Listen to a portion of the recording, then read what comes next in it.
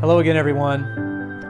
I certainly hope that you continue to fare as well as you possibly can uh, in the days that we uh, are in. I do have some news for you. I want to share with you uh, what it's going to look like for our in person worship that will begin Sunday, April 11th at 11 a.m.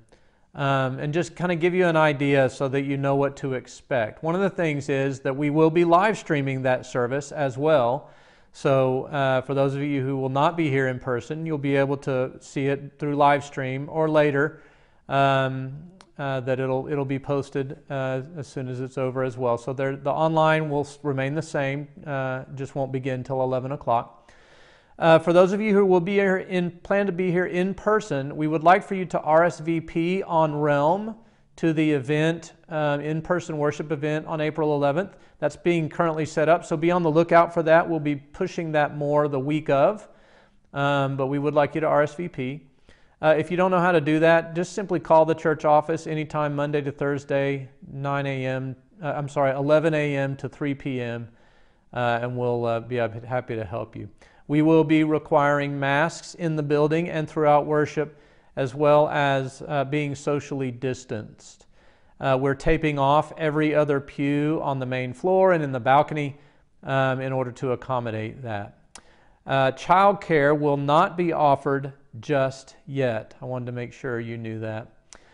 Uh, so, when you get on the campus, a host will greet you at the door you enter to welcome you at the beginning of worship. And then everything you'll need to know about worship will be on the projector screens. Then at the close of worship, you'll be simply invited to leave through the nearest exit to your seat. And we're going to encourage uh, you all to congregate outside in the parking lot in order to keep the numbers in the building low. So that's a basic that's the basics of what in-person worship is going to look like on April 11th. We have some fun things uh, planned in store for that for whether you're in person or online with us that day. So be looking for that on April 11th. We're, uh, we're gearing up for it. I do want to thank, personally thank the in-person worship task force who has been helping with us to put all of this together. They've been a real gift. And then finally, I simply want to say this. My main thought to you is to be mindful of one another. Not everyone is in the same place on all of this. So, so keep that in mind and be mindful and respectful of one another. In other words, may the presence of God be in your heart and in your home. Take care of yourself. I'll see you again soon.